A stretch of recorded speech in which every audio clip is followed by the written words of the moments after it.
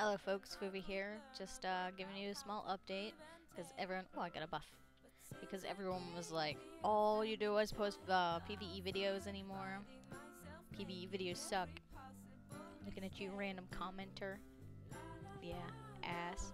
Anyways, my update is about BlizzCon. I will be going this year, me and my husband both, and a lot of people have been contacting us in regards to going out and having a drink, you know, getting to know each other, partying, and all that good stuff. If you're wondering who's all going to be there so far, I got a couple, mainly team uh, Wafflecast and Roarcast.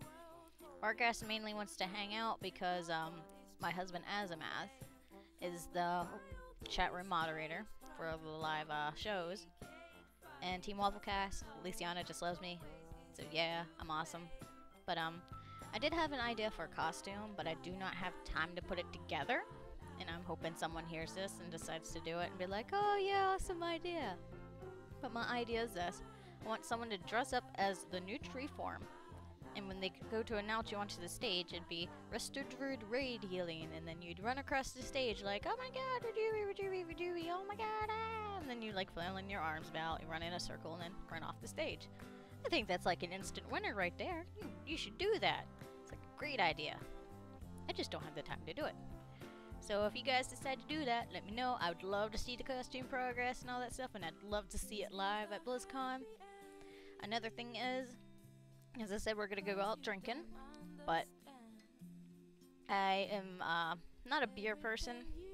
I don't think I ever will be, but I'd like to become one because I'm so used to liquor, I can drink it down like water, and I drink a lot within a short amount of time. So, I want to try and get out of that habit of making an ass of myself and being drunk within the first two, three hours of the party because I down like nine cups of something, you know? So, if you guys have an idea for a good beer that isn't Coors, or Labatt Blue, or Milwaukee, let me know because I don't like those beers. I've tried them. I'm looking for something a little bit more smoother. My husband tried to tell me Labatt Blue was smooth and it wasn't, so damn Canadians. So, yeah, that's my update. Sure you guys have noticed, I am not a cow anymore. People convinced me to go back to troll because they're like berserking, so I'm enjoying my white bear form. So, uh,